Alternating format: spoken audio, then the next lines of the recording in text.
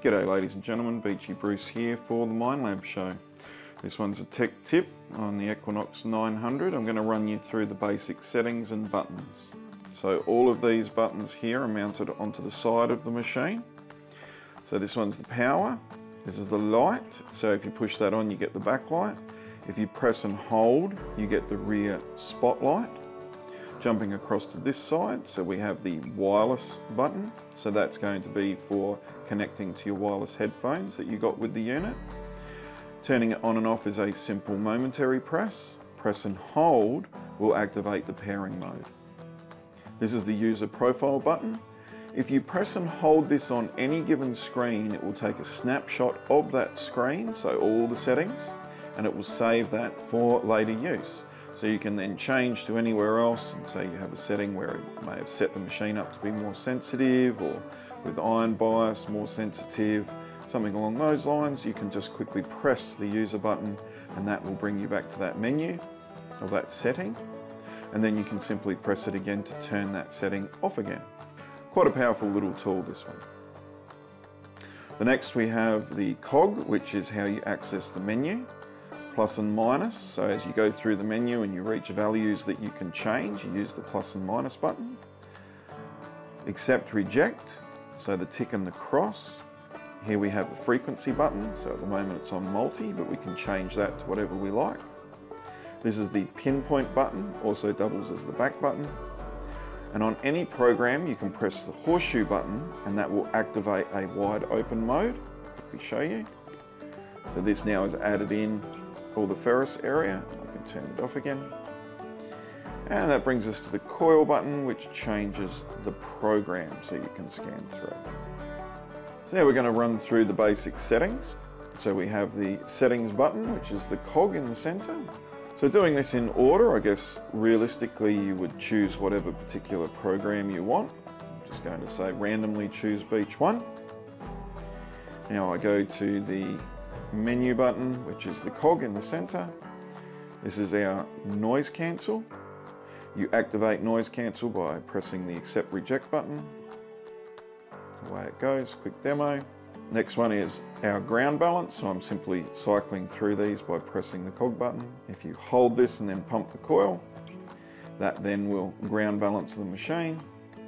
If you press it once, it will bring up the auto tracking. If you press it again, it removes the auto tracking. Through to the next setting, this is our overall volume. So you can see that's up, so you can choose anywhere from 1 to 25. Our next menu is threshold. So this is a threshold tone used for detecting very sensitive targets where you put this constant tone in the background you can hear here. And then if I go over a very faint target that may not register as a TID on the machine, it will give me a tone break in that tone. And then I can scan back in, dig a little bit of soil away and see whether it's a super deep target. This is generally used on the gold mode, not used too much on the other modes. I'm going to turn this back down again. Take us through to the next basic, which is where we choose how many tones we want to respond. So I can go down, so I've got one tone for everything. Two tones, so that'll be one for ferrous and one for everything else. Five tones, which will break it into the five regions through here. Next one is all tones, so that will give me 119 tones approximately all the way through. And then the next one is DP.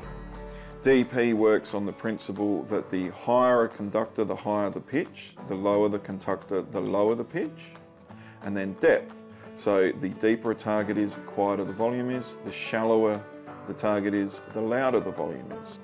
Let's go through to the next option by using our cog button again. This is now where we can program, so we can accept and reject each one of these. So this is how you would program, so if I say hold it, I can bring it up to here, so I can remove pull tabs, typically at 31. By clicking the accept reject, I've removed that notch and that will remove associated 31 pull tabs. However, bear in mind that I have pulled gold rings that register as a pull tab in that particular zone. So you need to be aware that when you notch things out, you may inadvertently notch out some good targets. The last setting that's on here in the basic row is the recovery speed. If I have this on 8, I can now have multiple targets underneath the coil at the same time and get a clear response from each target. It does sacrifice a bit of depth and it does sacrifice a bit of sensitivity. If I reduce this down to 2 or 3, the power of this is that I'm now going to pick up finer targets that are deeper. However, in the same instance too, I've lost my ability to have multiple targets and separate them out under the coil. So just bear in mind there are pros and cons about all of these settings. So ladies and gentlemen, this is the basic settings for the Equinox 900. I'm going to be doing a video very shortly on the more advanced settings for this particular machine.